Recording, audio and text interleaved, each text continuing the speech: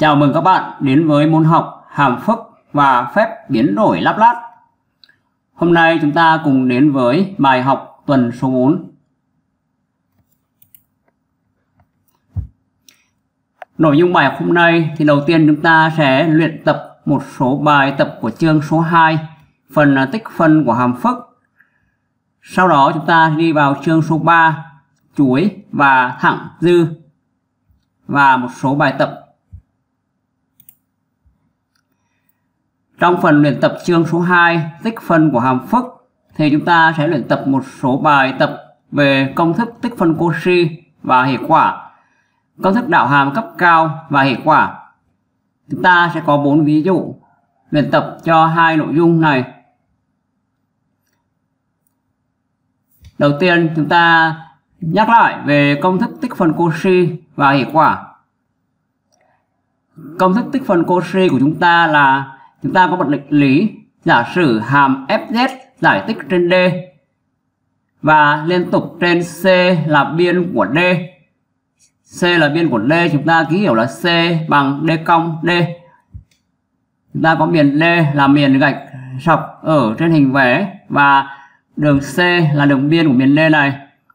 Khi đó với điểm z0 thuộc d thì ta có công thức là f của z0 giá trị hàm số f tại điểm Z0 sẽ bằng 1 trên 2 pi tích phân trên đường biên D. Tích phân là tích phân kín trên đường biên D của hàm fz trên z trừ z0 dz từ công thức tích phân Cauchy thì chúng ta sẽ có hệ quả. Hệ quả của công thức tích phân Cauchy là chúng ta áp dụng để tính tích phân từ công thức tích phân của c chúng ta dễ dàng suy ra là để tính cái tích phân kín trên đường uh, biên D của miền D. Hàm trong dấu tích phân là Fz trên Z trừ Z0 dz thì chúng ta tính bằng cách thay Z0 vào công thức 2pi F của Z0 hàm số Fz chúng ta là phải giải tích trên miền D và điểm Z0 ở mẫu số ở đây là phải thuộc miền D.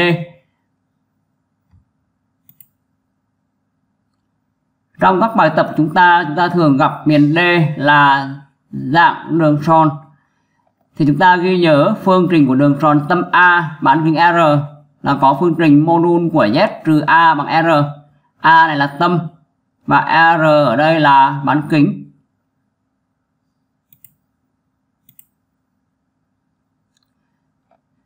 Chúng ta có công thức đảo hàm cấp cao là công thức tổng quát hơn cái công thức tích phân Cauchy.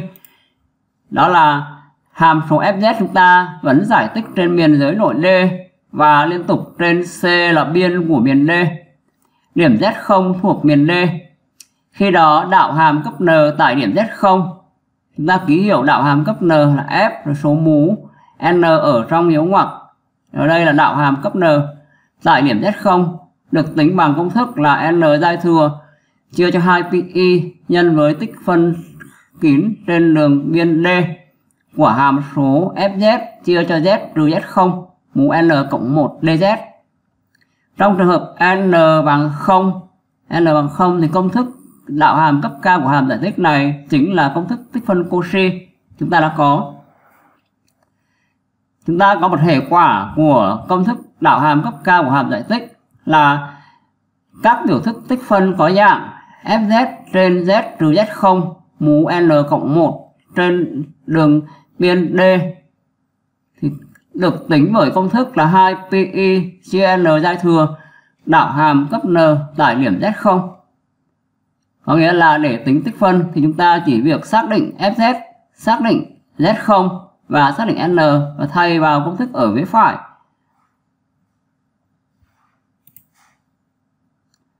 Chúng ta cùng đi vào một số ví dụ luyện tập cho công thức tích phân Cauchy và công thức đảo hàm cấp cao. Đầu tiên chúng ta đến với ví dụ số 1. Ví dụ số 1 chúng ta là tính tích phân y, tích phân trên một đường C khép kín, có phương trình là modul của z cộng 1 trừ 2y bằng 4. Hàm trong dấu tích phân là z bình phương cộng 3iz tất cả trên z trừ 1 trừ 2y. ở đây chúng ta thấy C, chúng ta có phương trình là mô đun của Z cộng 1 trừ 2Y bằng 4 thì chúng ta cùng ghi nhớ những phương trình mà có dạng mô đun của Z trừ A bằng R là phương trình của đường tròn tâm tại A và bán kính là R. Vậy từ đó chúng ta xác định được đầu tiên chúng ta xác định cái đường tròn C của chúng ta. Đường tròn C ở đây là có mô của Z cộng 1 trừ 2y bằng 4. Vậy chúng ta chuyển về mô của Z trừ A. Vậy từ Z cộng 1 trừ 2y chuyển thành Z trừ A. Để có dấu trừ này thì chúng ta sẽ đổi cái cộng 1 trừ 2y đưa vào trong dấu ngoặc là phải đổi dấu. Cộng 1 đổi thành trừ 1, trừ 2y e, đổi dấu thành cộng 2y e. để chúng ta được dạng là mô đun của Z trừ cho A. Vậy, tâm A chúng ta là số phức trừ 1 cộng 2y. E. Số phức này biểu diễn trên mặt phẳng phức là có hoành nổ là trừ 1. Có tung nổ là 2. Tung nổ là 2. Vậy đây là điểm tâm A của đường tròn C. Bán kính đường tròn này là R bằng 4 và chúng ta vẽ tại đường tròn tâm tại A và bán kính R là bằng 4. Bây giờ chúng ta cần áp dụng uh, ví dụ này áp dụng các công thức hệ quả hệ quả các công thức tích phân Cauchy và công thức đảo hàm cấp cao của hàm giải tích. Thì các công thức đó thì đường C là biên của miền D. Tử số chúng ta là một hàm số fz và mẫu số là z trừ z0 thì khi đó giá trị của tích phân sẽ bằng 2 pi f của z0 hàm fz chúng ta là phải giải tích trên miền D và điểm z0 điểm z0 phải nằm trong miền D này. Vậy chúng ta phải tìm cách phân tích cái biểu thức cái hàm cần tính tích phân ở đề bài. Làm sao có dạng fz trên z trừ z0 ở đây chúng ta thấy tử số của hạ, hàm trong những tích phân là z bình phương cộng 3iz mẫu số là z trừ 1 trừ 2y z trừ 1 trừ 2y e, chúng ta chuyển về dạng z trừ z0 chúng ta đặt dấu trừ phía trước và đổi trừ 1 trừ 2y e thành 1 cộng 2y e. để từ đó, chúng ta xác định là fz sẽ là hàm ở tử số z bình phương cộng 3iz z. Trừ z0 ở mẫu số thì ở đây z0 sẽ nghĩ tới là điểm 1 cộng 2y Hàm fz chúng ta là hàm đa thức z bình phương cộng 3z thì giải tích trên toàn bộ mặt phẳng phức, do đó sẽ giải tích trên miền D là hình tròn của chúng ta. Còn điểm z0 này thuộc D hay không, chúng ta xác định nó. Z0 chúng ta là 1 cộng 2y là điểm có hoành độ là 1. Hoành độ là 1, còn tung độ là 2, tung độ là 2 và điểm Z0 chúng ta thấy sau khi xác định trên mặt phẳng phức thì điểm này đã nằm trong miền D thỏa mãn cái điều kiện của hệ quả công thức tích phân Cauchy ở đây. Vậy từ đó theo công thức ừ, hệ quả thì chúng ta có giá trị của tích phân là bằng 2 pi fz0. Z0 ở đây là 1 cộng 2y, còn hàm fz là z bình phương cộng 3iz. Đến đây chúng ta chỉ việc sử dụng máy tính Casio hỗ trợ để tính giá trị của biểu thức với số phức. Đầu tiên chúng ta chọn chế độ số phức là bấm phím 1 và 2. Sau đó chúng ta nhập công thức 2pi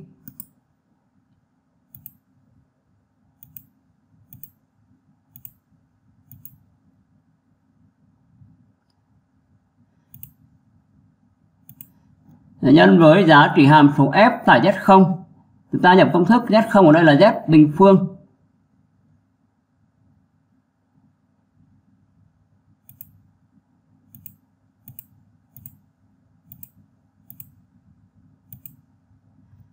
Z0 chúng ta là 1 cộng 2y tất cả bình phương, cộng 3iz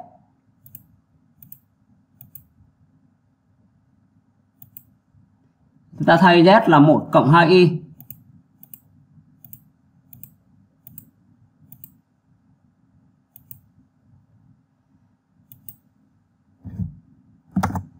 chúng ta được kết quả là trừ 14p trừ 18pi ở đây chúng ta nhóm p ra ngoài là trừ 14 trừ 18 ep như vậy, chúng ta đã giải được ví dụ số 1 một bài toán tính tích phân Cauchy.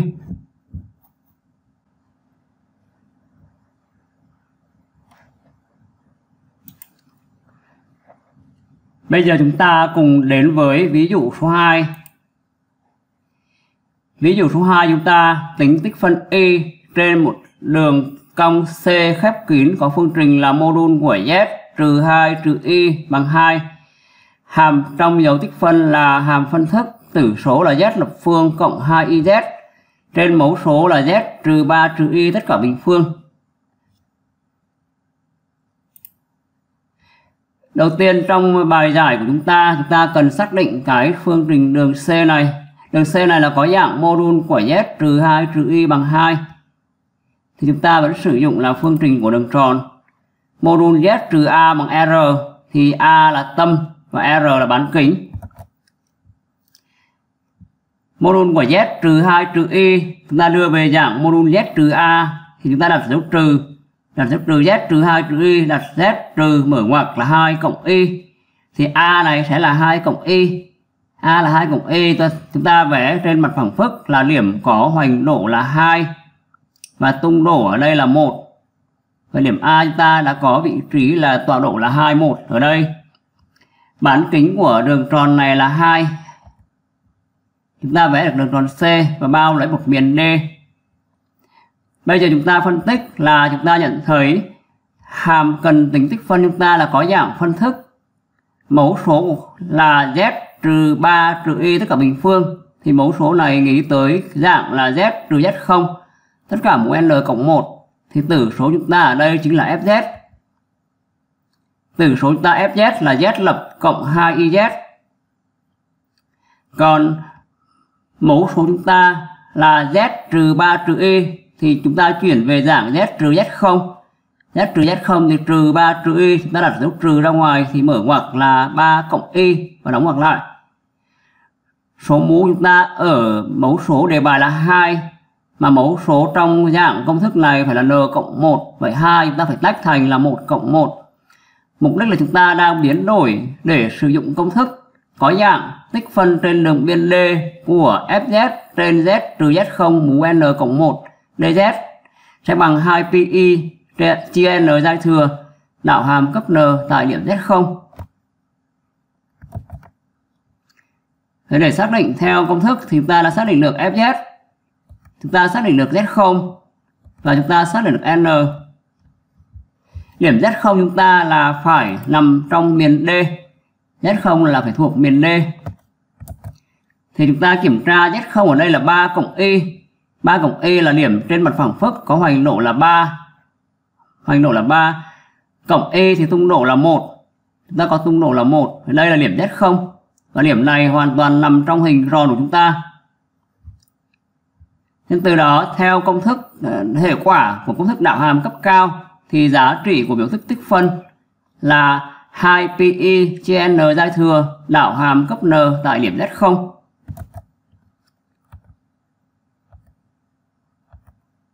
ta có 2 pi chia n giai thừa. Đạo hàm gấp n tại điểm z0 n chúng ta ở đây là 1 Z0 là 3 cộng Y. Fz chúng ta là Z lập phương cộng 2 iz Vậy bây giờ chúng ta có, chúng ta thay N bằng 1 vào đây. Một giai thừa là 1 Vậy chúng ta được biểu thức ở đây là 2PI N chúng ta đây là 1 thì đạo hàm là đạo hàm cấp 1 đạo hàm cấp 1 chúng ta tính hàm F là Z lập phương cộng 2iz Z lập phương và đạo hàm là 3Z bình phương. Cộng 2iz đạo hàm là 2Y và chúng ta cần tính đạo hàm này tại điểm Z0 có nghĩa là chúng ta sẽ thay Z bằng 3 cộng Y vào công thức của đạo hàm. Vậy từ đó chúng ta lại dùng máy tính Casio để hỗ trợ tính toán này.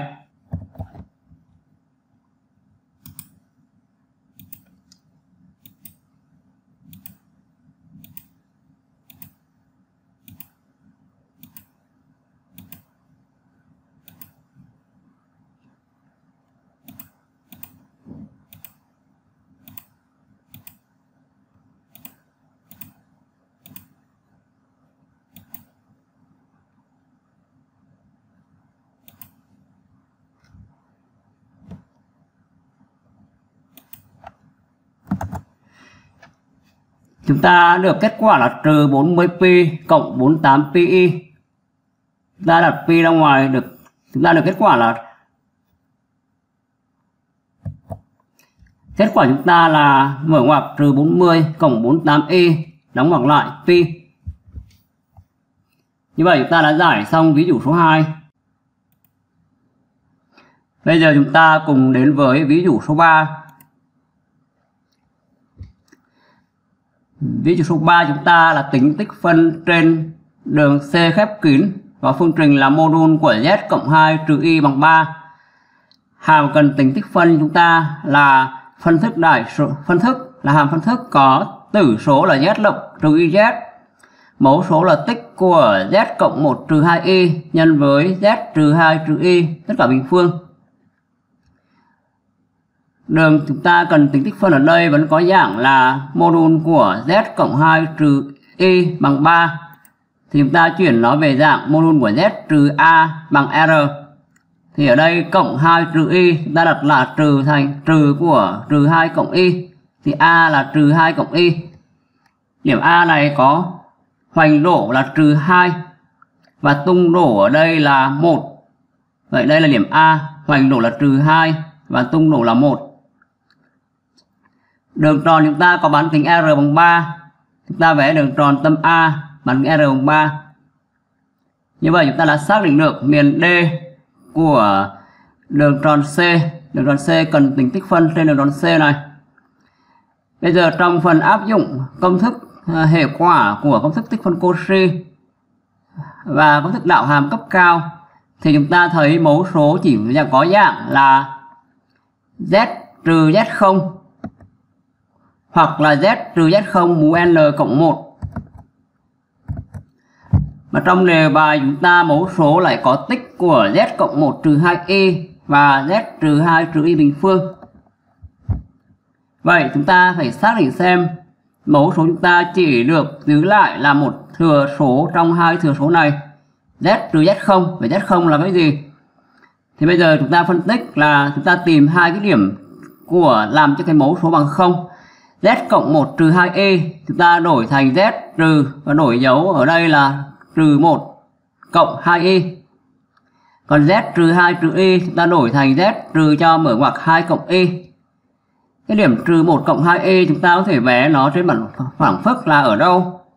Trừ 1 cộng 2E là điểm có hoành độ là, hoành độ là trừ 1 và tung độ là 2 còn điểm 2 cộng e 2 cộng e là hoành nổ là 2 hoành nổ là 2 ở đây. Tung nổ của nó là 1 vậy điểm 2 cộng e là điểm này. Vậy điểm trừ 1 cộng 2 e chúng ta đã vẽ được ở đây. Và điểm 2 cộng e chúng ta cũng đã vẽ được trên mặt phẳng phức. Thì trong công thức uh, hệ quả của công thức tích phân Cauchy thì chúng ta lưu ý là mẫu số chúng ta phải là z trừ z0 và điểm z0 này phải nằm trong miền D. Vậy, trong hai điểm chúng ta xác định ở đây thì chỉ có cái điểm trừ 1 cộng 2y là nằm trong miền D này. Do đó, chúng ta sẽ lấy cái mẫu số z trừ z0 ở đây chính là z trừ cho, trừ 1 cộng 2y. Và cái điểm trừ 1 cộng 2y này sẽ xác định là điểm z0 của chúng ta. Từ đó, chúng ta sẽ biến đổi ở đây là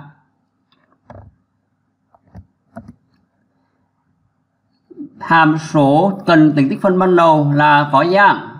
Tử số là a, mẫu số là tích của hai thừa số b nhân c. Thì ta giữ lại một thừa số c và sẽ chuyển a chia b nhân c là bằng a trên b nhân c. Như vậy ở đây c chúng ta sẽ lấy là z trừ cho trừ 1 cộng 2y z trừ cho trừ 1 cộng 2y còn phần a chia b là z lập trừ iz chia cho z trừ 2 cộng y phải giống ngoặc đi là z trừ 2 trừ y bình phương. Và chúng ta xác định được đây chính là hàm số fz. Và z0 chúng ta là z0 chúng ta là trừ 1 cộng 2y e. điểm z0 này thỏa mãn nằm trong miền D, được bao bởi đường tròn C, đường biên là đường tròn C. Vậy từ đó, theo công thức hệ quả của công thức tích phân Cauchy thì giá trị của tích phân là 2 pi f của z0 chúng ta sẽ dùng máy tính Casio để hỗ trợ biểu thức này. 2pi f của z0 chúng ta thay z0 là trừ 1 cộng 2y vào biểu thức của hàm số fz ở đây.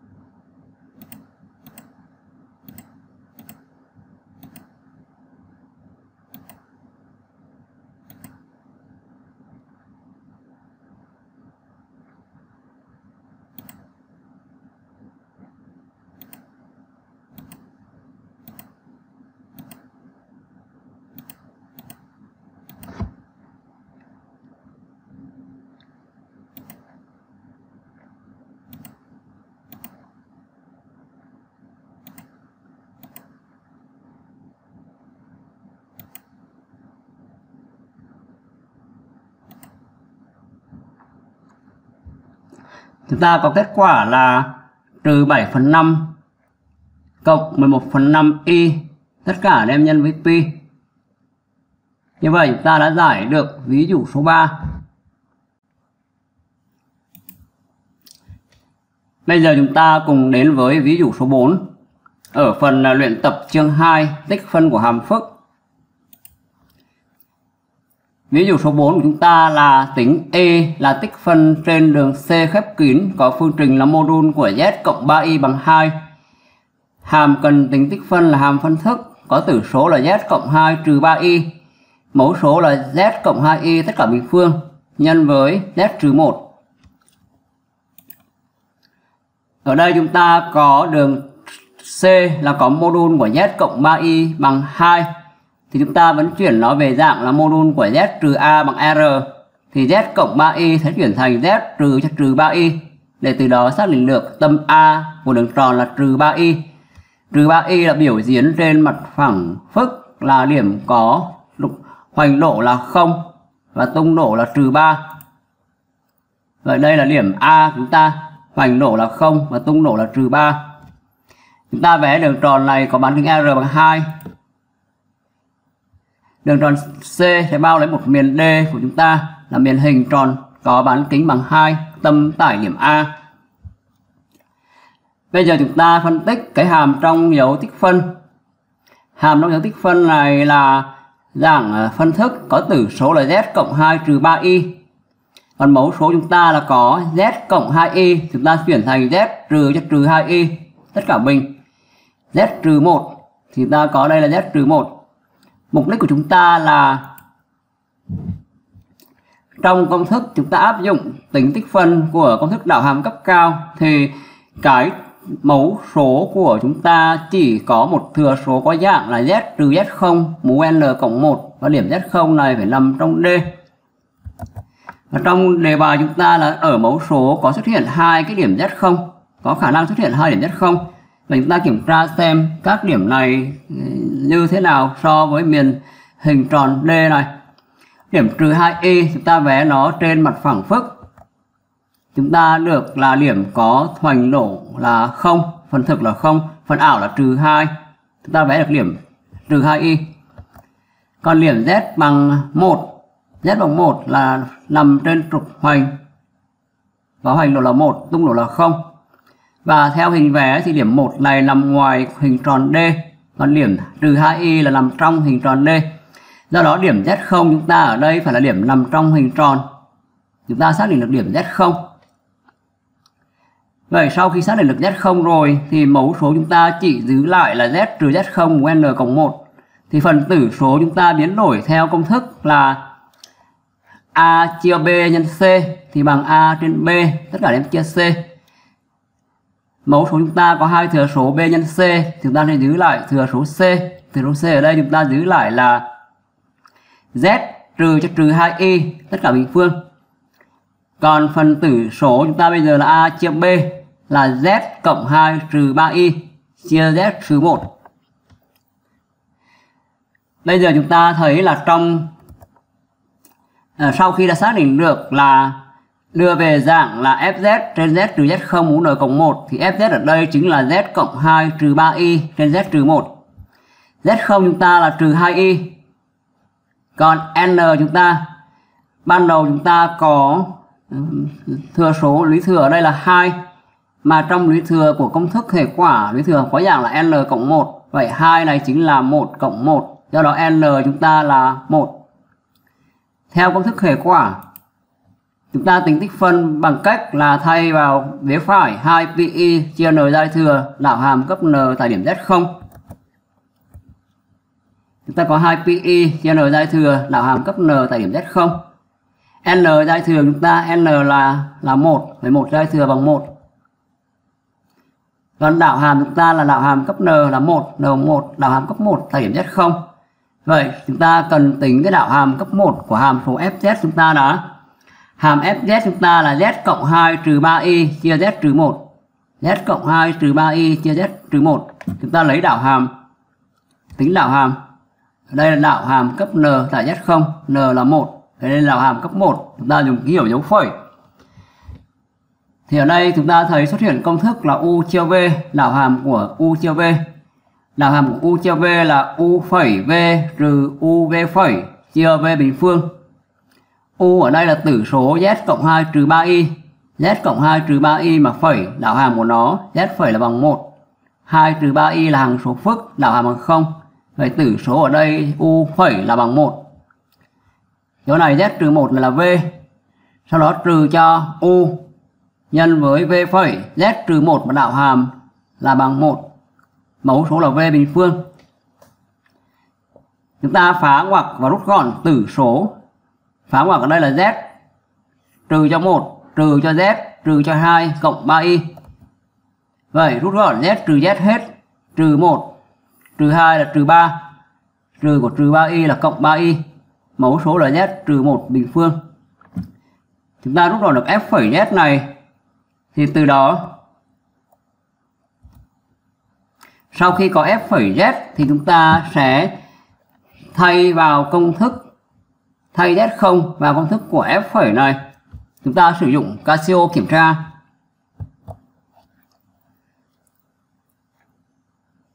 Chúng ta bấm là 2 pi N đại thừa chúng ta là một rồi, chúng ta không cần bấm nữa. 2 pi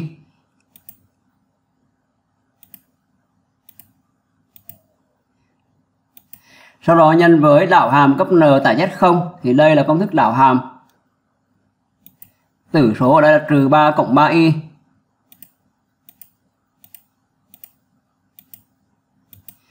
mẫu số chúng ta là z trừ 1 bình phương. Z chúng ta ở đây là điểm z0 z0 là trừ 2y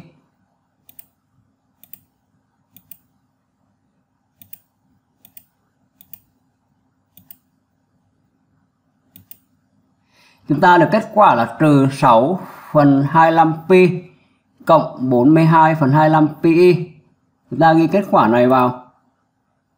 Chúng ta nhóm ở đây là trừ 6 phần 25 cộng 42 phần 25 y tất cả đem nhân với pi. Như vậy, chúng ta đã giải xong ví dụ số 4 bây giờ chúng ta quay trở lại với nội dung ờ, tiếp theo của chúng ta.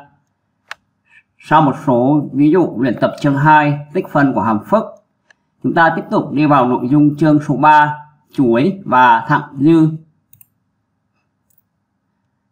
trong nội dung chương 3 này, chúng ta sẽ tìm hiểu về chuỗi hàm phức, chuỗi lo răng và các điểm bất thường, điểm cực, khái niệm thặng dư và cách tính, định lý cơ bản thặng dư và ứng dụng. Bây giờ chúng ta đi vào tìm hiểu về chuỗi hàm phức. Trong nội dung tìm hiểu về chuỗi hàm phức thì các bạn đi vào khái niệm chung, sau đó chúng ta đi vào một số chuỗi cụ thể là chuỗi lũy thừa, chuỗi hình học, chuỗi Taylor và chuỗi McLaurin. Chúng ta đến với khái niệm chung của một chuỗi hàm phức.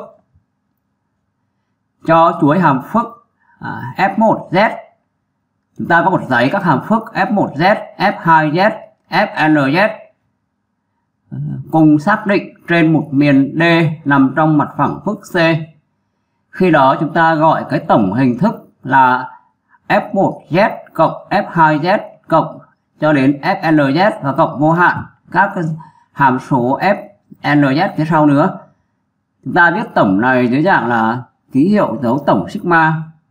Các số hạng trong tổng là FNZ chỉ số N từ 1 cho tới vô cùng chuỗi 6 ở đây chúng ta gọi là một chuỗi hàm phức.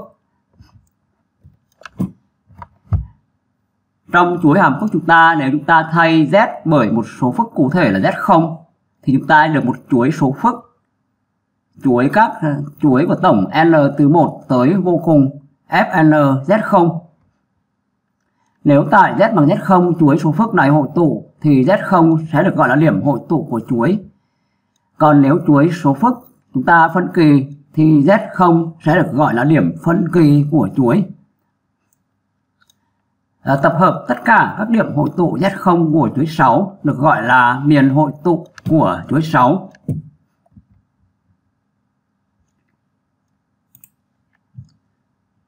Sau khi có khái niệm chung về chuỗi hàm phức thì chúng ta đi vào một số dạng chuỗi. Chúng ta có mục tiếp theo là chuỗi lũy thừa. Chúng ta cùng đi vào định nghĩa của chuỗi lũy thừa. Chuỗi lũy thừa là chuỗi hàm phức, có dạng.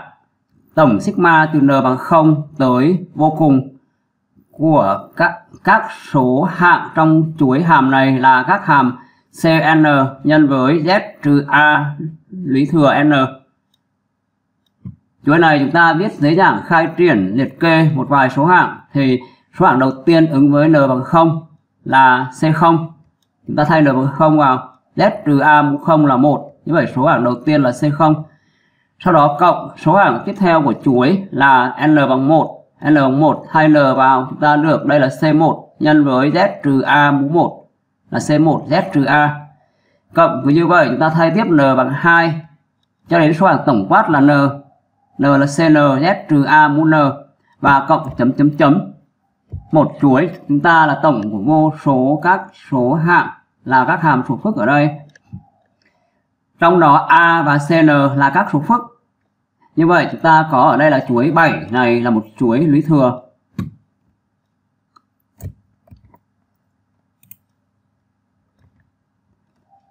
Với trường hợp của chuỗi lũy thừa, chúng ta ghi nhớ miền hội tụ của chuỗi lý thừa 7 luôn là hình tròn, có phương trình là mô đun của z trừ a bé r.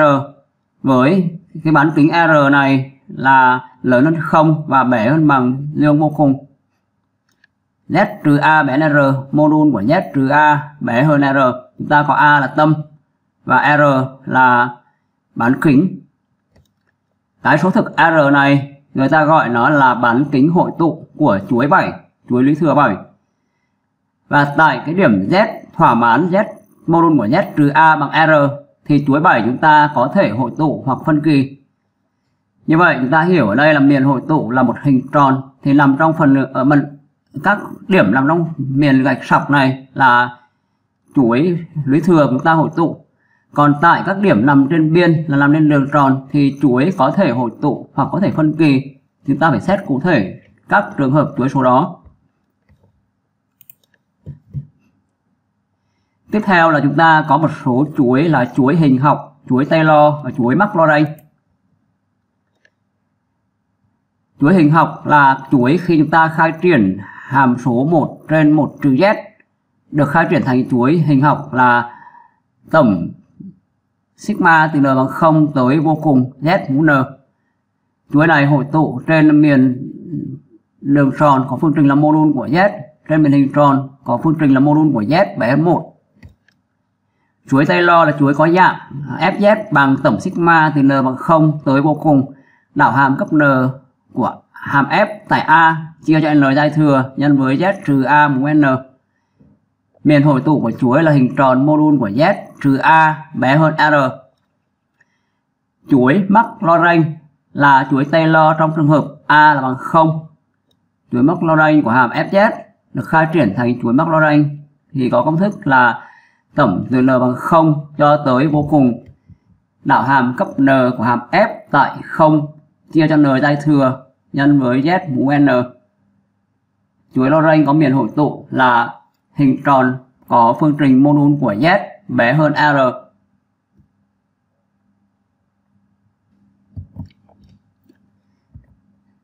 Chúng ta sẽ thường gặp một vài, một số chuỗi Lorentz của một số hàm số thường gặp Hàm e mũ z được khai triển thành chuỗi MacLaurin là tổng sigma từ n bằng 0 cho tới vô cùng z mũ n chia n giai thừa. Viết dưới dạng liệt kê là 1 cộng z cộng z mũ 2 chia 2 giai thừa cộng z mũ 3 trên 3 giai thừa cộng vô hạn các số hạng phía sau. Chuỗi này hội tụ với mọi z thuộc ờ, mặt phẳng phức C. Chuỗi sin z thì chúng ta có công thức khai triển MacLaurin của nó là tổng sigma từ n bằng 0 tới vô cùng. Các số hạng là trừ 1 mũ n z mũ 2n cộng 1 trên cho 2n cộng 1 giai thừa.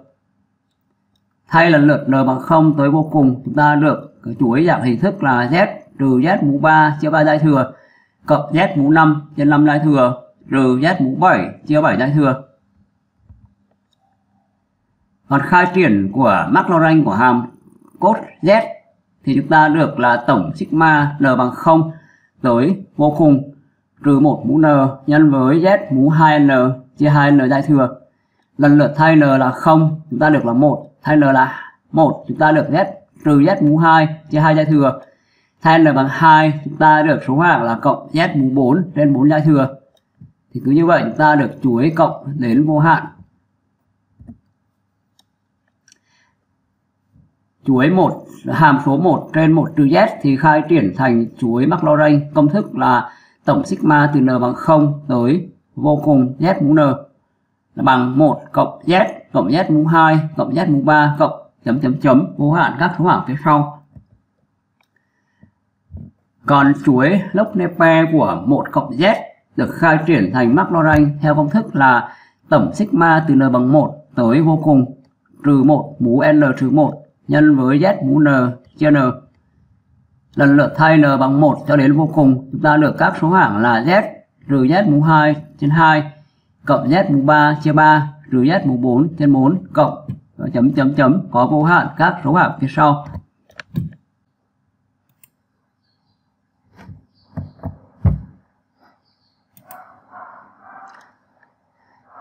Nội dung thứ hai trong phần chương 3 chuỗi và thẳng dư chúng ta đến với khái niệm chuỗi lo răng và các điểm bất thường, điểm cực. Đầu tiên chúng ta xét định nghĩa về chuỗi lo răng. Chúng ta có một định lý là chúng ta có thể khai triển một hàm số fz giải tích trên ờ, miền hình vành khăn được giới hạn bởi hai đường tròn, đường tròn tâm A bán kính R và đường tròn ờ, tâm A bán kính R lớn một đường tròn tâm A bán kính R nhỏ, và một đường tròn tâm A bán kính R lớn. Hàm Fz giải tích trên miền ờ, hình vành khăn này. Khi đó, hàm số Fz có thể khai triển được là thành chuỗi lý thừa có dạng là tổng sigma các số hạng CN Z trừ A mũ N N từ âm vô cùng cho tới dương vô cùng. Trong đó, các CN này được tính theo công thức 1 trên 2 pi tích phân trên đường cong khép kín là có phương trình là mô đun của z trừ a bằng q. Q ở đây là một số thực nằm giữa r lớn và r nhỏ. Hàm trong dấu tích phân là fz trên z trừ a mũ n cộng 1 dz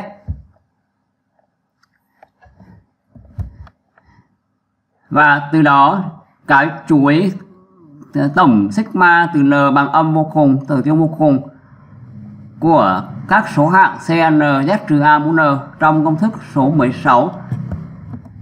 Chúng ta gọi đây là công thức số 16. Chuỗi này chúng ta gọi nó là chuỗi lo răng của hàm số Fz.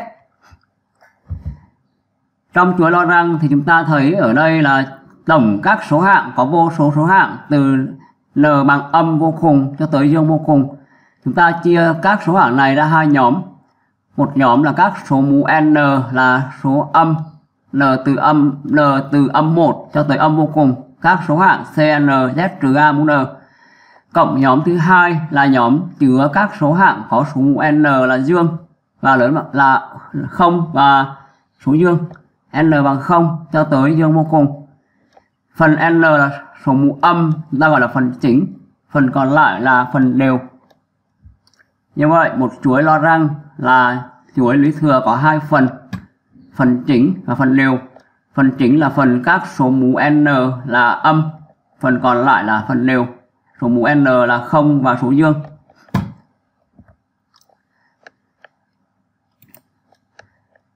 Sau khái niệm chuỗi lo răng là chúng ta đến với khái niệm điểm bất thường, điểm cực. Chúng ta có định nghĩa điểm z bằng z0 khác ờ, vô cùng được gọi là điểm bất thường của hàm fz nếu fz không giải tích tại z0 còn điểm z bằng z0 được gọi là điểm bất thường cô lập của hàm fz nếu tồn tại một lân cận của z0 trong đó chỉ có z bằng z0 là điểm bất thường. Chúng ta có ví dụ hàm số fz bằng 1 trên z bình phương có z bằng 0 là điểm bất thường cô lập. Chúng ta thấy ở đây z bằng 0 thì hàm số này là có mẫu số bằng 0 là không xác định tại ờ, z bằng 0 và cũng không giải tích tại z0. Z0 này là, z bằng 0 này là điểm bất thường cô lập bởi vì trong lân cận của điểm 0 thì chỉ có duy nhất z bằng 0 là điểm bất thường. Hàm số fz bằng 1 trên z bình phương cộng 1 có hai điểm bất thường cô lập, đó là z bằng cộng trừ y. Những hàm có dạng phân thức ở đây thì chúng ta thấy điểm nào mà làm cho mẫu số bằng 0, hàm số không xác định thì đó là điểm bất thường. z bình cộng 1 bằng 0 thì z bình sẽ bằng À, âm 1 z bình phương bằng âm 1 thì chúng ta có y bình phương cũng bằng âm 1 nên z là bằng z bình bằng y bình phương do đó z bằng cộng trừ y chúng ta có cái định nghĩa về điểm cực. Điểm z bằng a được gọi là điểm cực bậc n của hàm fz nếu tồn tại số nguyên dương n. Sao cho giới hạn khi z tiến tới a của z trừ a mũ n nhân với fz bằng số a lớn khác không? Trường hợp n bằng 1 thì z bằng a gọi là điểm cực đơn.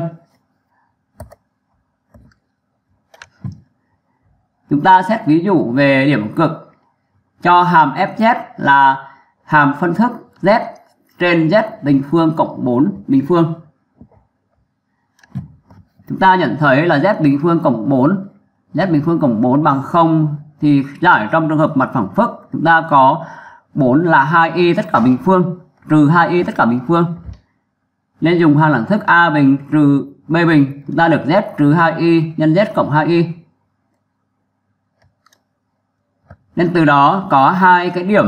Hàm số fz có hai điểm bất thường là z bằng trừ 2y và z bằng 2y thì đây là hai điểm mà làm cho mẫu số ở đây bằng 0 hai điểm này sẽ là hai điểm cực đơn cấp 2 bởi vì chúng ta xét là cái giới hạn khi z tiến tới 2y của z trừ 2y bình nhân với fz. Chúng ta được giới hạn z tiến tới 2y của z trừ 2y bình nhân với fz chúng ta viết ở đề bài vào. Đây là fz.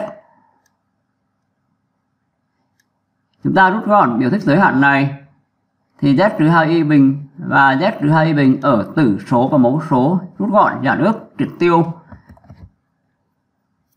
giới hạn còn lại, chúng ta thay z bằng 2y chúng ta được kết quả là trừ 1 phần 8y là khác không từ đó chúng ta có z bằng 2y là điểm cực cấp 2 của hàm fz. Tương tự, z bằng trừ 2y cũng là điểm cực cấp 2 của hàm phụ fz. Thì qua ví dụ này chúng ta hiểu nhanh như sau.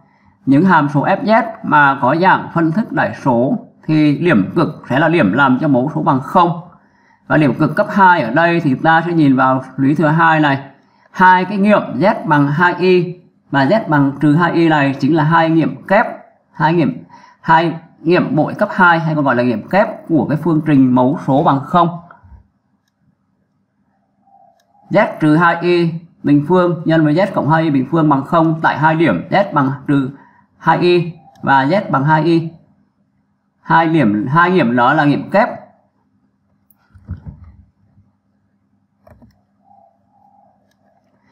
Chúng ta có phân loại điểm bất thường cô lập. Cái điểm z bằng a khác vô cùng được gọi là điểm bất thường cô lập của hàm fz.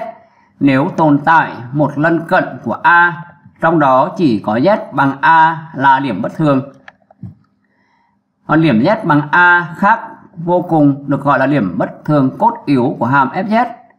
Nếu không tồn tại số nguyên dương n, sao cho cái giới hạn khi z tiến tới a của z trừ a mũ n nhân fz bằng a khác không điểm z bằng a khác vô cùng được gọi là điểm bất thường bỏ được của hàm fz nếu cái giới hạn khi z tiến tới a của z trừ a mũ n nhân fz là tồn tại. Còn điểm bất thường của fz tại z bằng vô cùng là điểm bất thường của f 1 trên v kép tại v kép bằng 0. Ở đây là chúng ta có một số phân loại điểm bất thường cô lập.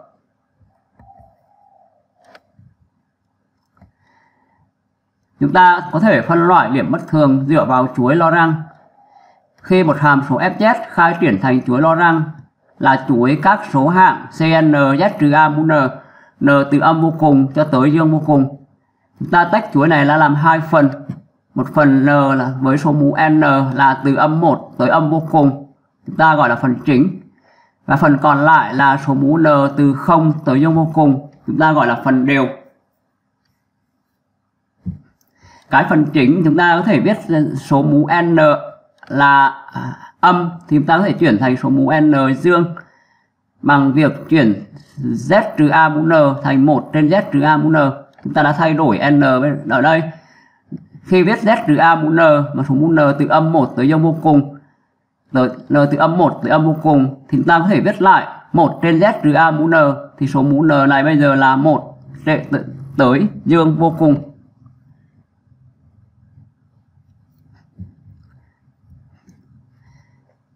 Sau khi có hai phần, chúng ta có phần chính và phần đều. Thì khi đó chúng ta có cực điểm. Cực điểm cấp m sẽ là lũy thừa âm cao nhất trong khai triển là z trừ a mũ trừ m khi đó hàm số fz chúng ta phần chính chúng ta chỉ có hữu hạn các số hạng là từ c trừ 1 trên z trừ a cộng chấm chấm chấm ở đây cộng cho tới cuối ở đây là C trừ M trên Z trừ A mũ M.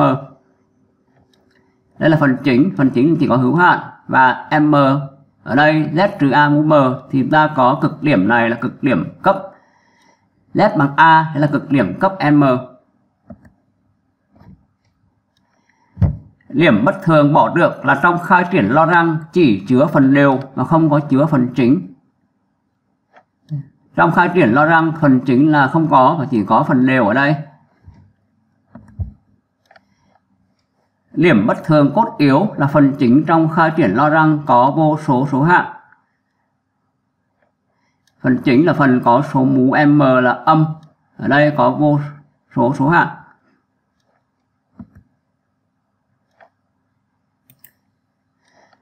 như vậy, chúng ta đã xét xong mục thứ hai, chuỗi lo răng và các điểm bất thường, điểm cực. Bây giờ chúng ta cùng đến với khái niệm thặng dư và cách tính.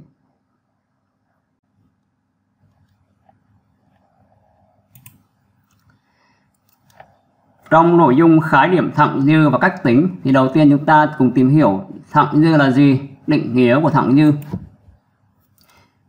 Chúng ta có các định nghĩa thặng dư sau. Định nghĩa thứ nhất khi chúng ta khai triển một hàm số fz về chuỗi lo răng có hai phần, phần chính và phần đều. Phần chính là phần các số mũ e của z trừ a mũ n là số mũ âm. Với n là âm 1 thì chúng ta có c trừ 1 trên z trừ a n là âm 2 chúng ta có số hạng c âm 2 trên z trừ a bình phương cộng vô hạn các số hạng cho đến n là âm vô cùng này. Phần đều chúng ta là với n bằng 0 chúng ta có số hạng là C0. Với n bằng 1 chúng ta có số hạng là C1 Z trừ A. với n bằng 2 là C2 Z trừ A bình phương cộng cho đến chấm chấm chấm ở đây là n cho tới vô cùng, tới dương vô cùng này khi đó người ta định nghĩa thẳng dư của hàm số fz tại cái điểm cực a. Ở đây a sẽ là điểm cực của hàm số fz này. Thẳng dư của hàm số fz tại điểm cực a. Ký hiệu của nó là res res quả của hàm fz với tham số a.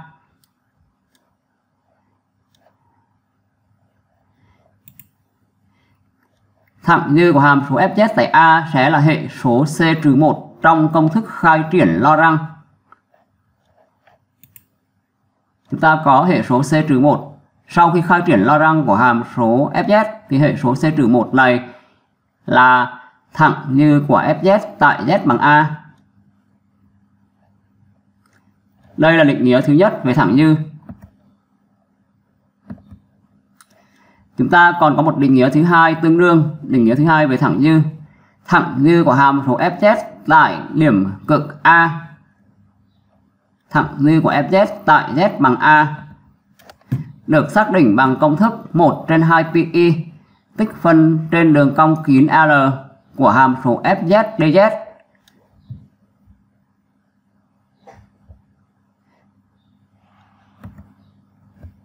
Trong công thức này chúng ta có hàm số Fz giải tích trên miền D và R là đường giải tích trên miền D và trừ tại cái điểm cực A. Giải tích trên miền gạch uh, sọc D này và trừ tại điểm A. L chúng ta là biên của miền D. Đây là định nghĩa 2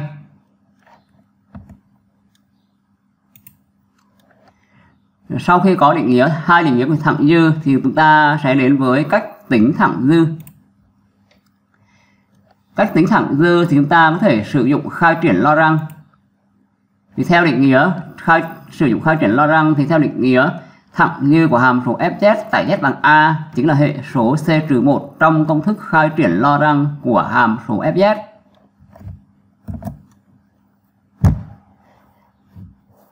Người ta xây dựng được ờ, một số công thức tính thứ hai và thứ ba trong trường hợp là thẳng dư của điểm cực đơn và thẳng dư của điểm cực cấp m. Với thẳng dư của điểm cực đơn, chúng ta có z bằng a là điểm cực đơn hay là điểm cực cấp 1 và hàm số fz có công thức là hz chia cho gz thỏa mãn, giá trị hàm số h tại a là khác không? Còn a là điểm cực, thì điểm làm cho mẫu số bằng 0 nên ga là bằng 0 đạo hàm g phẩy a khác 0 thì khi đó thẳng dư của hàm số fz tại a được tính bằng công thức là ha chia cho g phẩy a.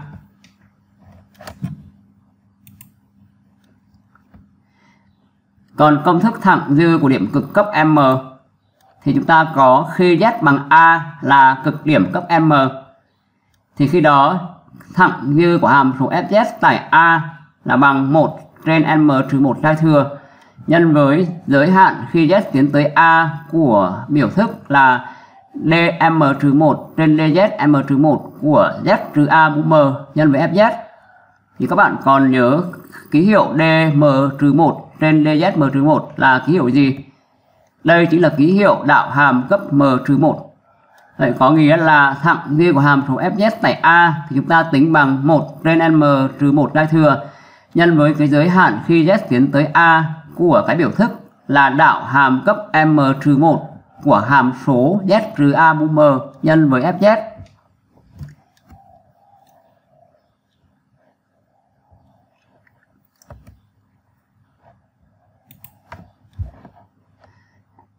Bây giờ chúng ta sẽ tìm hiểu một số ví dụ minh họa luyện tập cho các cách tính thẳng dư.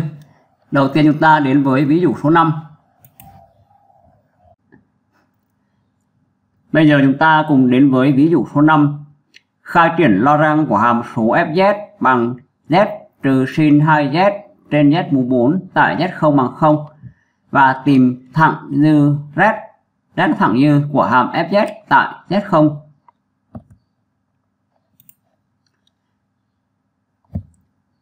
Ở đây chúng ta có hàm số fz là 1 trên z lập phương, trừ 1 trên z mũ 4 nhân với sin 2z chúng ta cần khai triển lo răng thì chúng ta ở đây xuất hiện là hàm sin 2z thì trong phần ờ, khai triển lo răng thì ta sẽ phải ghi nhớ một số khai triển lo răng của một số hàm. Khai triển mắc lo răng của một số hàm chúng ta đã gặp là hàm e mũ z, hàm sin, hàm cốt rồi hàm log p của một trừ z ở đây chúng ta có công thức khai triển của sin 2z là công thức tổng quát chúng ta sin của z được khai triển thành chuỗi lo rằng là tổng sigma từ n bằng 0 cho tới vô cùng trừ 1 mũ n nhân với z mũ 2n cộng 1 trên 2n cộng 1 giai thừa. Chỗ này chúng ta lần lượt thay n bằng 0 rồi 1, 2, 3 đến vô hạn chúng ta sẽ được các số hạng là z trừ z mũ 3 trên 3 dây thừa, cộng z mũ 5 trên 5 dây thừa, trừ z mũ 7 trên 7 dây thừa, cộng vô hạn các số hạng. Đây là công thức của sin z, mà trong bài chúng ta là sin 2z. Vậy chúng ta chỉ việc áp dụng công thức là ở đâu có z, màu đỏ ở đây, chúng ta thay bởi 2z. Từ đó chúng ta được là 1 trên z lập phương, trừ cho 1 trên z mũ 4 sin 2z thì chúng ta viết ở công thức hình thức này là tổng sigma từ n bằng 0 tới vô cùng trừ 1 mũ n. Ở công thức chúng ta là z mũ 2n cộng 1 thì bài toán chúng ta thay cái z là bởi 2z 2z tất cả mũ 2n cộng 1 chia cho 2n cộng 1 ra thừa. Tổng sigma này chúng ta viết lại dưới dạng khai triển một vài số hạng ban đầu. Thì chúng ta có ở đây là 1 trên z lập phương trừ cho 1 trên z mũ 4. Cái tổng sigma ở đây là khai triển được số hạng đầu tiên, ở đây là z thì trong bài chúng ta thay bằng 2z trừ cho ở đây là z mũ 3 chia 3 giai thừa, chúng ta xóa z đi, thay của nó là 2z, 2z mũ 3 trên 3 giai thừa. Cộng với z mũ 5 chia 5 giai thừa thì bài chúng ta là 2z tất cả mũ 5 chia 5 giai thừa. Trừ với ở đây sẽ thay thế z bởi 2z là chúng ta được là 2z tất cả mũ 7 trên 7 giai thừa cộng ờ, vô hạn các số bảng phía sau. Bây giờ chúng ta rút gọn cái chuỗi này. Thì khi rút gọn ở đây chúng ta thấy là 1 trên z lập trừ chúng ta lấy 1 trên z mũ 4 nhân với các số hạng ở trong chuỗi. Đầu tiên là nhân với 2z, chúng ta rút gọn 2z mà chia cho z mũ 4 là 2 trên z mũ 3 1 trên z mũ 3 mà trừ cho 2 trên z mũ 3 là còn lại trừ 1 trên z mũ 3. Sau đó số hạng tiếp theo là trừ 1 trên z, z mũ 4 nhân với trừ 2z tất cả mũ 3 trên 3 giai thừa. Chúng ta lấy dấu trừ nhân trừ là được dấu cộng ở đây. Và nhân ở đây là 2 mũ 3, 2 mũ 3. Mẫu số đây là 3 giai thừa. Sau đó trên tử số có z mũ 3. Mẫu số chúng ta có ở đây có z mũ 4 z mũ 3 mà rút gọn cho z mũ 4 là còn lại một phần z. Số bảng tiếp theo là chúng ta lấy trừ 1 trên z mũ 4 đem nhân với 2 z tất cả mũ 5 trên 5 giai thừa thì chúng ta được là trừ 2 mũ 5 trên 5 giai thừa nhân với z. Ở đây chúng ta rút gọn là z là, là z mũ 5 chia cho z mũ 4 là còn lại z. Số bảng kế tiếp là chúng ta được ở đây trừ 1 trên z mũ 4 nhân với trừ 2z tất cả mũ 7 trên 7 giai thừa. Được kết quả là cộng 2 mũ 7 trên 7 giai thừa nhân với z lập phương. Và còn vô hạn các số hạng phía sau nữa. Và bây giờ chúng ta thấy trong định nghĩa thẳng dư của chúng ta, thẳng dư của hàm số fz tại điểm cực A là hệ số C-1 trong công thức khai triển Lorentz. Do đó, hệ số C-1 là hệ số của một phần Z này. Hệ số ở đó là, trong bài chúng ta là 2 mũ 3 trên 3 giai thừa. Thì đây chính là thẳng dư của hàm số Fz tại điểm Z0 của chúng ta. Chúng ta rút gọn kết quả 2 mũ 3 trên 3 giai thừa là bằng 4 phần 3. Như vậy, chúng ta đã giải được ví dụ số 5. Chúng ta cùng luyện tập ví dụ tiếp theo là ví dụ số 6. Chúng ta cùng đến với ví dụ số 6. Cho hàm số fz là hàm phân thức có dạng z cộng 3y chia cho z trừ 2y. Tính thẳng dư của hàm số fz, z tại điểm 2y z fz tại 2y các bài toán yêu cầu tính thẳng dư thường sẽ yêu cầu tính tại điểm cực ở đây z bằng 2y là điểm làm cho cái mẫu số trong phân thức đại số này bằng 0 nên tại z bằng 2y là hàm fz không có giải tích. Do đó z bằng 2y ở đây là điểm cực. Và điểm cực là điểm cực đơn. Chúng ta có z bằng 2y là nghiệp đơn của cái phương trình mẫu số ở đây bằng 0 z trừ 2y bằng 0 thì có nghiệm là z bằng 2y nó là điểm cực đơn. Vậy chúng ta đã có công thức.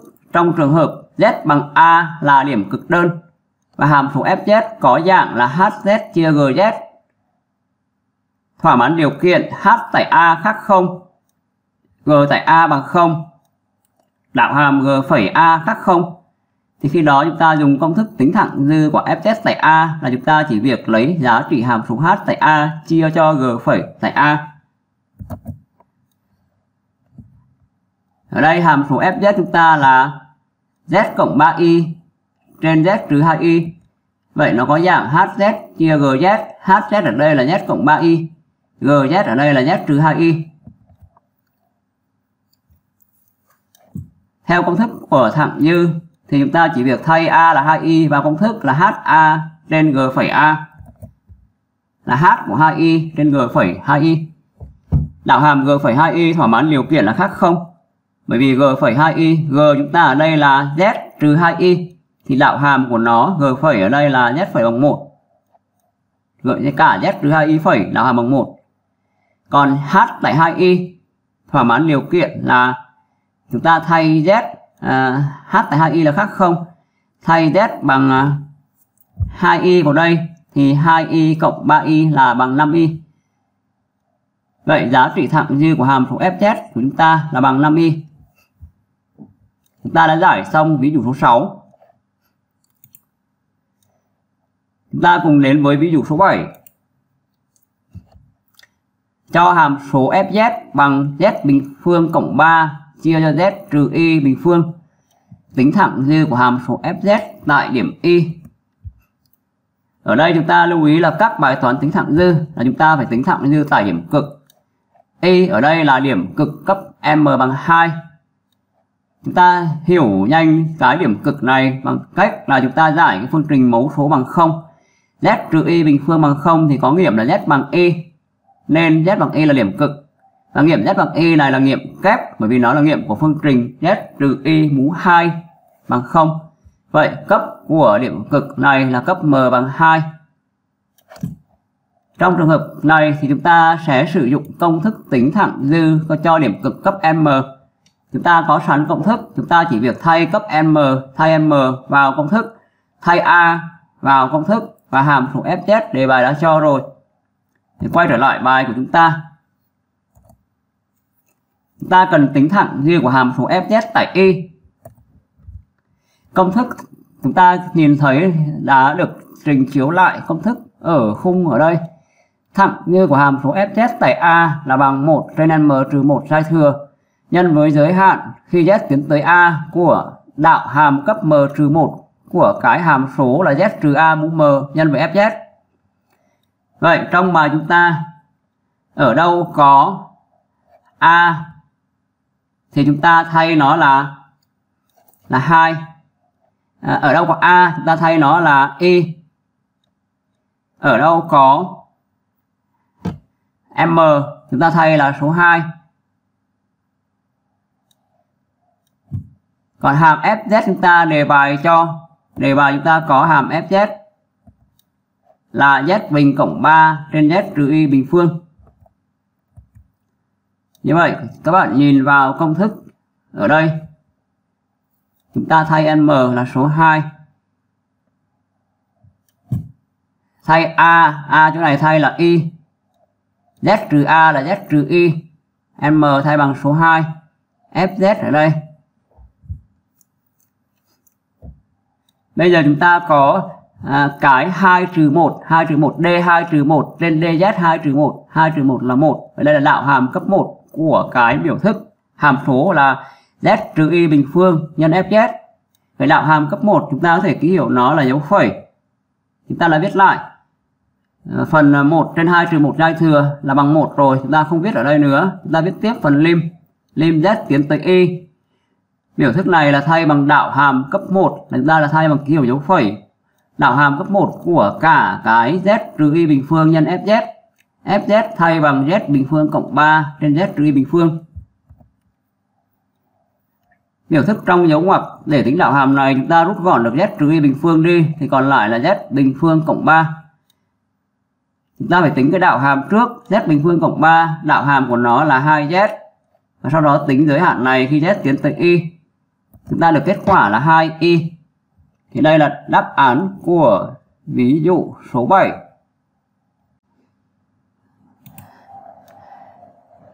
chúng ta tiếp tục với ví dụ số 8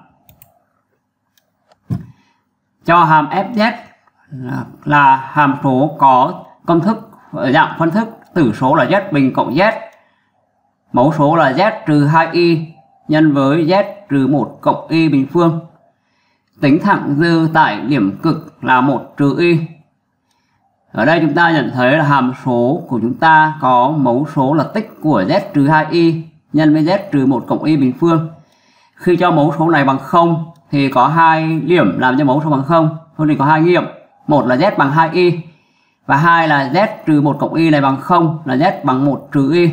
Ở đây chỉ yêu cầu tính tại thẳng dư tại điểm 1 trừ y điểm z bằng 1 trừ E là nghiệm ừ, kép của chúng ta, bởi vì nó là nghiệm của phương trình là z trừ 1 cộng E bình phương bằng 0 nên ở đây z bằng 1 trừ E là điểm cực cấp m bằng 2 điểm cực cấp m bằng 2 do đó chúng ta sẽ sử dụng công thức tính thẳng như của điểm cực cấp m. Chúng ta chỉ việc thay điểm cực a và m vào công thức của thẳng dư đây. Bài toán yêu cầu tính thẳng dư tại một trừ y.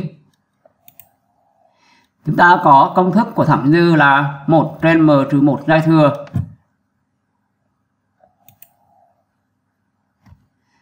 Nhân với giới hạn khi z tiến tới a, đạo hàm cấp m trừ 1 của cái z trừ a mũ m nhân với fz bây giờ trong công thức này, chúng ta sẽ thay ở đâu có a, chúng ta thay bởi 1 trừ y ở đâu có m, chúng ta thay bởi số 2 chúng ta thay a bởi a là 1 trừ y m thay bằng số 2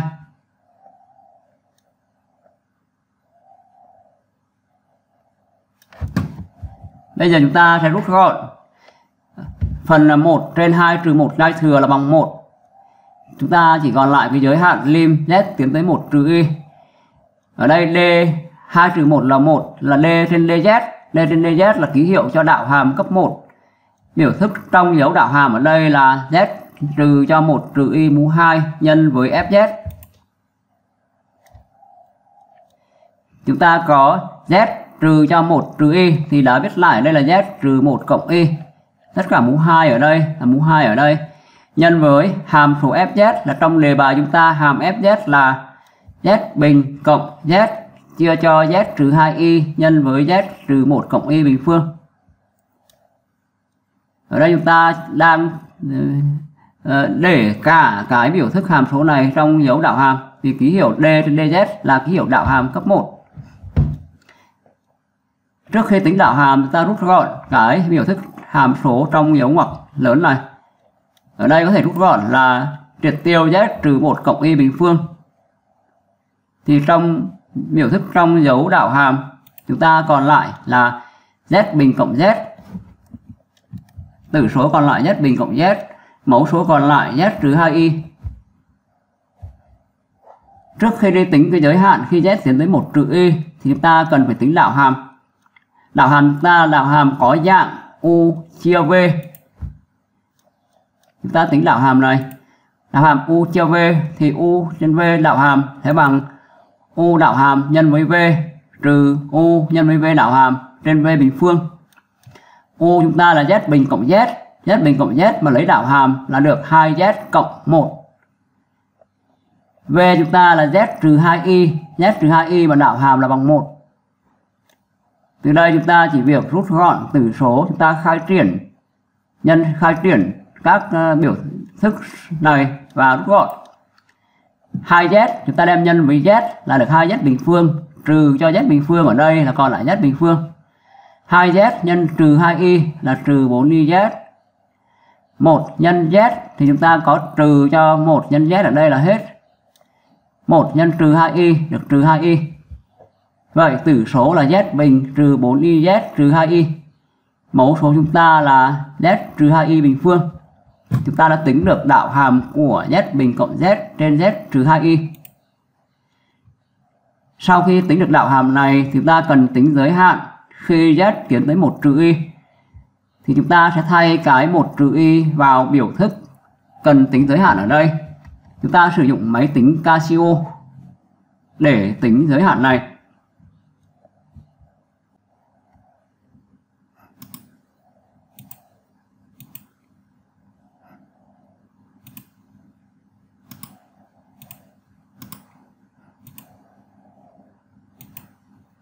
Ở đây là z bình phương. Chúng ta thay z là một trừ y.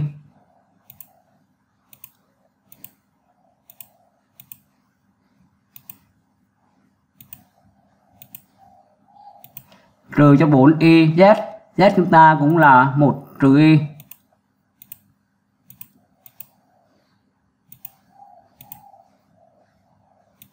Rồi trừ 2 y. mẫu số chúng ta là, ở đây z là một trừ y. Sau đó trừ tiếp 2y và đóng ngoặc lại bình phương. Chúng ta được kết quả là 4 phần 5 cộng 2 phần 5 y. Chúng ta viết kết quả này vào. Chúng ta được thẳng như của hàm số fz tại 1 trừ y là kết quả là 4 phần 5 cộng 2 phần 5 y chúng ta đã giải xong ví dụ số 8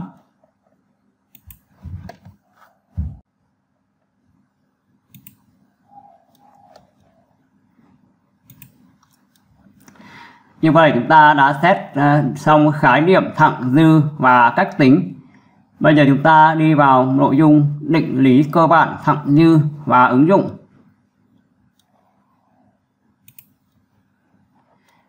Định lý cơ bản của thẳng dư chúng ta có một định lý là tích phân trên đường cong kín C của hàm số fz dz thì bằng 2 pi nhân với tổng tất cả các thẳng dư của hàm fz tại điểm AK k từ 1 tới n. Ở đây chúng ta minh họa ở đây là chúng ta có hàm số fz là giải tích trên miền D và trừ tại trừ tại các điểm là A1, A2, A3 trên AN. Các điểm này là các điểm cực của hàm số fz. C chúng ta là biên của miền D thì khi đó tích phân trên đường biên C của miền D của hàm số fz dz thì chúng ta sẽ lấy 2 pi nhân với tổng tất cả các thẳng dư của hàm số fz tại điểm AK. Các điểm AK ở đây là đều nằm trong miền D. Chúng ta có hai ví dụ minh họa cho cái công thức tính thẳng uh, tích phân tích phân trên đường cong kín áp dụng thẳng dư ở đây. Chúng ta cùng đến với ví dụ số 9. Tính Y là tích phân trên đường cong kín C có phương trình là mô đun của Z bằng 4. Hàm tính tích phân là Z cộng 1 trên Z trừ 1 nhân Z trừ 2 nhân Z trừ 3. Ở đây chúng ta đã biết được cái dạng phương trình của đường C. Phương trình của đường C là mô đun của Z bằng 4. Thì đó chính là phương trình của đường tròn có tâm là tại 0 và bán kính R bằng 4. Hàm số fz của chúng ta là z cộng 1 trên z trừ 1 nhân z trừ 2 nhân z trừ 3. Hàm số này sẽ không giải tích tại 3 điểm sau. 3 điểm mà làm cho mẫu số bằng 0 là 3 điểm cực. Điểm thứ nhất là z bằng 1 là điểm A1 ở đây. Điểm thứ hai là A2 bằng 2. Chúng ta vẽ các điểm này trên mặt phẳng phức. Z bằng 2 là điểm nằm trên trục hoành có hoành độ bằng 2, tung độ bằng 0 z bằng 1 là điểm có hoành độ bằng 1, tung độ bằng 0. z bằng 3 là điểm A3 có hoành độ bằng 3, tung độ bằng 0. Cả ba điểm ờ, cực này đều nằm trong miền D. Và trong cái ứng dụng của thẳng dư để tính tích phân thì chúng ta tính thẳng dư tính tích phân bằng cách lấy 2 pi nhân với tổng các thẳng dư của fz tại AK. Hàm số fz chúng ta phải sắp giải tích trên miền D và trừ các điểm AK này. Các điểm AK này phải nằm trong miền D. Vậy trong bài chúng ta cả ba điểm A1, A2, A3 đều nằm trong miền D. Vậy, theo công thức E sẽ là 2PE e. tổng từ k bằng 1 đến n, chúng ta có 3 điểm thẳng dư của fz tại 3 điểm đó. Ở đây viết cụ thể ra là 2pi e nhân với thẳng dư của fz tại điểm thứ nhất là 1 cộng thẳng dư của fz tại điểm A2 là 2 cộng thẳng dư của hàm số fz tại điểm A3 là bằng 3. Vậy trước khi đi vào tính kết quả y thì chúng ta phải tính giải riêng ba cái bài toán tìm ba thẳng dư tại 1, 2, 3. Chúng ta lại hãy luyện tập tính các thẳng dư này bằng cách sử dụng các cách tính thẳng dư đã xét ở mục trước. Ở đây các bạn sẽ có kết quả của các thẳng dư này. Thẳng dư của hàm số fz tại 1, chúng ta được kết quả là 1. Thẳng dư của hàm số fz tại điểm cực z bằng 2, a2 là bằng trừ 3. Thẳng dư của hàm số fz tại điểm cực a3 bằng 3 ở đây, a3 là bằng 2, kết quả bằng 2. Từ đó chúng ta được kết quả tích phân y chúng ta trừ 1 trừ 3 cộng 2 là bằng 0 nên do đó y là bằng 2 pi nhân 0 là bằng 0. Chúng ta đã giải xong ví dụ số 9.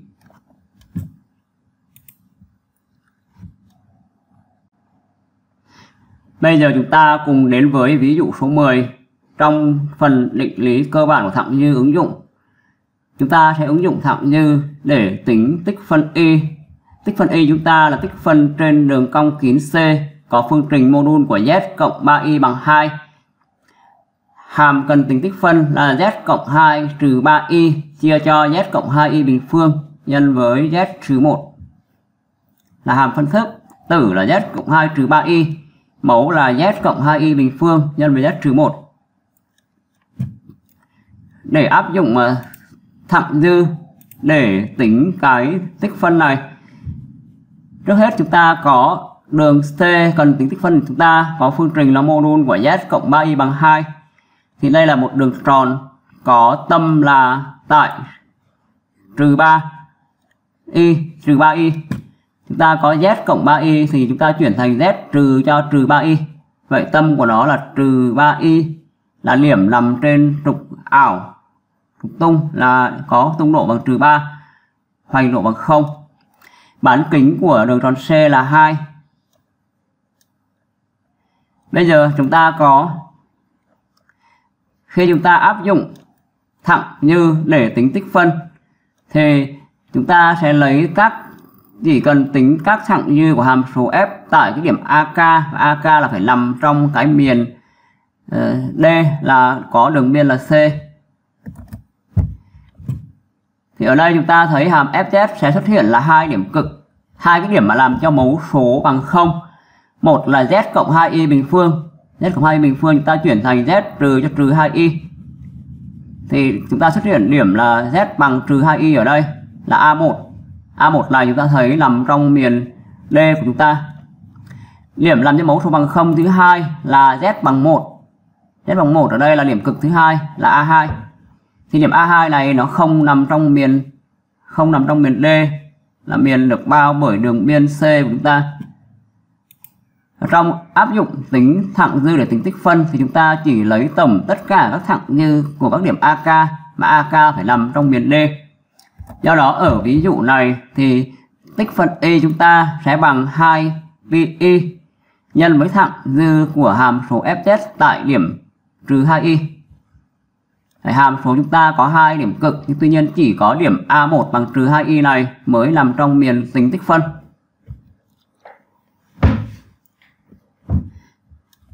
Từ đó bây giờ chúng ta phải đi tính thẳng dư của hàm số fz tại điểm trừ 2y thì tính xong thẳng dư rồi, chúng ta mới có kết quả của tích phân y các bạn hãy giải một bài toán là tính thẳng dư của hàm số fz chúng ta ở đây tại điểm z bằng trừ 2y là một điểm cực cấp m bằng 2 chúng ta hãy giải ví dụ này dựa theo các ví dụ tương tự trong phần cách tính thẳng dư ở đây trong phần bài giảng này, đoạn này chúng ta đã có kết quả.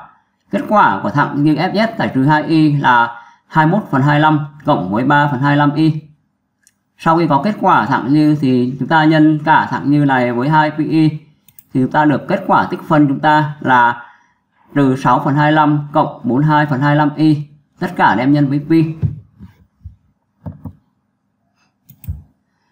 Như vậy chúng ta đã xét xong ví dụ 9 và ví dụ 10 minh họa cho định lý cơ bản của thẳng dư và ứng dụng. Trong nội dung bài học chúng ta là có một số bài tập, luyện tập cho buổi học này. Các bạn hãy theo dõi các đề bài sau và hãy tự giải các bài tập này. Chúng ta có bài tập thứ nhất là các bạn hãy tính một tích phân y. Tích phân y trên đường cong 9C. Chúng ta nhìn vào đề bài. Đây là bài tập thứ nhất. Bài tập thứ hai, chúng ta cũng tính của một tích phân y. Tích phân trên ờ, tích phân Cauchy trên đường cong kín C.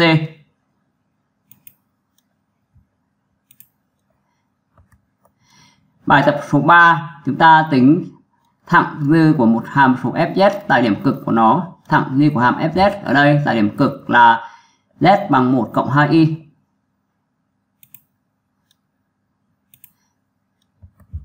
Bài tập số 4 chúng ta cũng tính thẳng dư của hàm số fz tại điểm cực.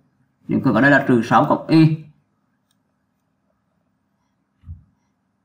Các bạn hãy giải các bài ờ, tập này và theo dõi các video chứa bài tập sau nhé các bạn. Bài học hôm nay chúng ta đến đây là kết thúc. Cảm ơn các bạn đã theo dõi. Hẹn gặp lại các bạn vào các buổi học sau.